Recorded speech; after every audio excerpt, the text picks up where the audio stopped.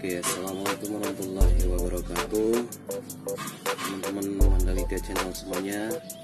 Kali ini saya akan eh, coba membuat video tutorial, sebuah video tutorial tentang bagaimana mengikat eh, kail pancing dengan cara yang sangat simpel, sederhana, mudah, tapi eh, cepat ya dan hasilnya uh, lumayan bagus, lumayan kuat.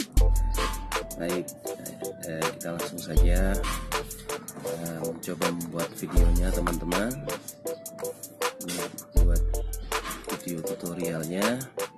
Ini sebenarnya, oke, ini sebenarnya.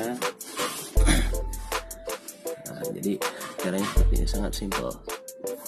Tapi sebelumnya di like dulu video saya teman-teman ya. Atau mungkin kalau misalnya videonya nanti setelah selesai ditonton kemudian dirasa bermanfaat buat yang lain informasi ini ya tutorial ini maka silahkan di share dibagikan saja. Dan jangan lupa di subscribe channel saya teman-teman semuanya ya. Mandalika channel. Biar bisa mendapatkan uh, video terbaru dari saya uh, kemudian informasi-informasi terbaru dari saya itu bisa nanti didapatkan setelah menekan tombol subscribe dan lonceng yang ada di situ. Baik teman-teman, langsung saja. Ya seperti ini. Ambil senarnya. Ya, kita ambil senarnya.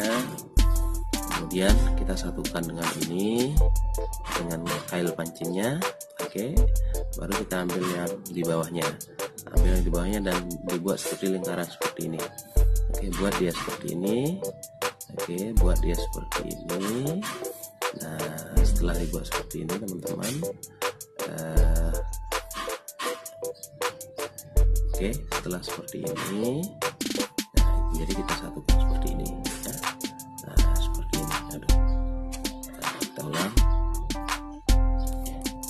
ujungnya nanti kita sisakan sedikit lah yang di sini ya biar ada tempatnya kita narik. Nah seperti ini. Baru kita putar. Nah, nah seperti ini ya. Nah, setelah itu uh, setelah kita apa buat dia seperti oh, seperti ini kita masukkan tangan kita ke sini. Ya masukkan tangan kita tiga. Bukan jari tangan kita tiga atau dua. Baru kita putar kita ikat dengan telunjuk kita.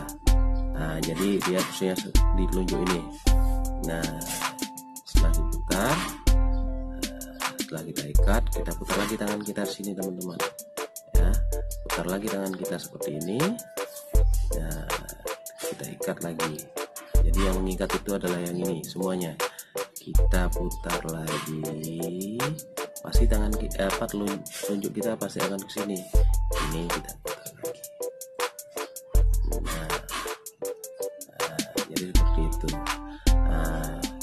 kita putar lagi. Kita kita ikat lagi. Nah pastikan dia itu bisa yang bawah ini bisa narik ya. Nah, ini jadi dia bisa begini. Nah jadi yang dipakai ikat itu adalah yang sambungannya yang ke ujung yang ini. Nah kita lagi. Nah begitu sampai bisa bertuhannya lima kali putaran atau enam kali atau tujuh kali atau sepuluh kali. Itu tergantung dari teman-teman. Lagi kita ambil yang ini. Ya kita ikat lagi. Nah, jadi kita putar terus seperti ini teman-teman ya. Jadi ini kita harus pegang biar dia rapi biar rapi seperti ini. Nah lagi kita putar siap. Ceblok lagi. Misalnya kalau agak sempit di sini kita bisa tarik teman-teman ya. Tarik lagi. Nah, biar agak panjang. Nah putar lagi. Nah jadi seperti ini. Kita putar lagi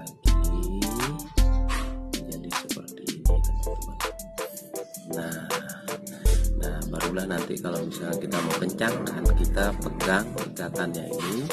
Ini kita pegang pakai telur apa jari kita. Setelah kita pegang barulah kita tarik dia.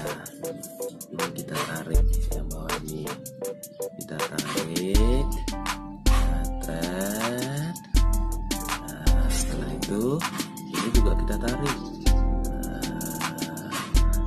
maka nanti hasilnya akan seperti ini teman-teman? Ya hasilnya akan seperti ini. Kemudian kita rapatkan kita pilihkan sampai dia ke ujung uh, kailnya ini ya. Nah, sini sampai pangkal kailnya ini. Barulah ini kita kencangkan. Ini kita kencangkan biar dia kuat biar dia nah kalau giginya kuat ya seperti ini kalau gigi kalian kuat ya ah kalau gigi saya ini udah nggak ada satu. Ini caranya. Ah begitu.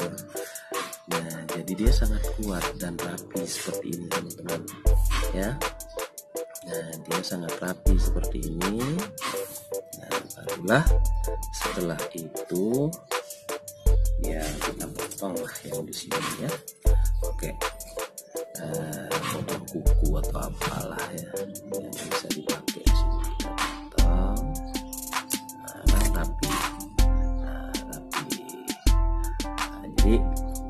dia nah kemudian ya, kalau misalnya mau bikin dua ya kita misalnya ikat dia di sini dulu tuh nah, kita ikat dia di sini dulu satu.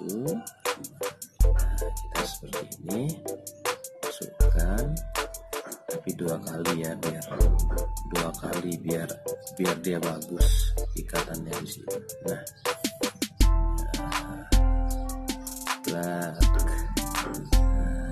kalau misalnya kita mau bikin dua kail ya kita langsung saja potong di sini dia ya.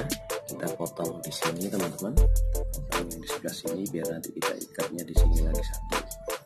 Oke potong di sini ya. Ini nah di sini tempatnya kita ikat lagi kan gampang. Kita ambil kainnya lagi satu lagi satu. Nah lagi kita dengan cara yang seperti tadi. Bikin dia seperti ini ya.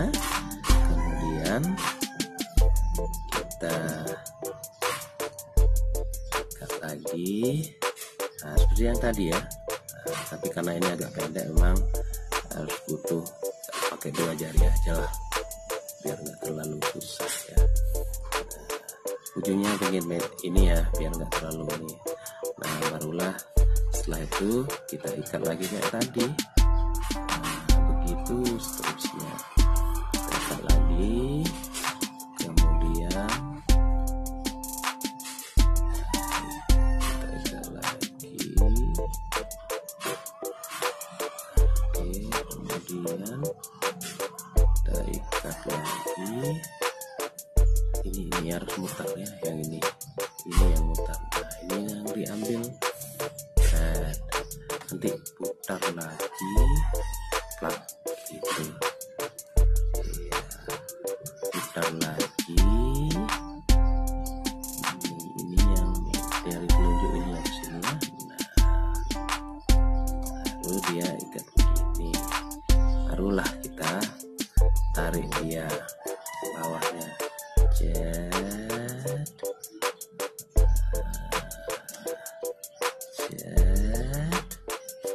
ujungnya kita tarik lagi.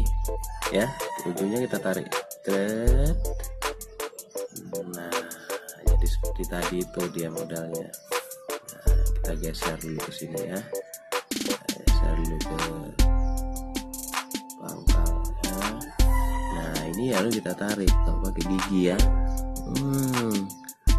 Ah gitu biar gak berat ah gitu kan kencang jadinya nih teman-teman. Kencang deh jadinya kalau sudah seperti ini. Oke. Kita rapikan. Kita rapikan. Kita potong di ujungnya. Nah jadi jadi deh nah, tinggal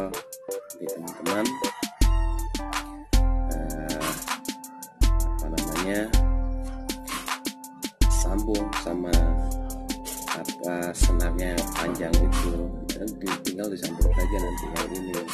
Oke. Nah, tinggal disambung saja nanti. Hanya seperti ini. Kalau misalnya mau pakai dulu. Oke. Saja. Uh, jadi itu saja video uh, tutorial dari saya. Semoga bermanfaat. Bisa dipakai bisa dipergunakan bisa ditiru bisa dipelajari. Teman-teman nanti caranya karena yang kalau kayak gini nih walaupun mati lampu kita bisa ikat. Ya, walaupun dia gelap gelap bisa kita ikat. Karena kita udah tahu modelnya kayak gimana. Oke? Nah, jadi bisa dipelajari di rumah teman-teman supaya nanti memudahkan kita untuk bisa dapat ikan bisa strike sebanyak-banyaknya ya dengan cara yang tadi.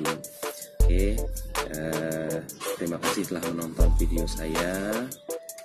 Sekali lagi semoga bermanfaat bagi teman-teman semuanya.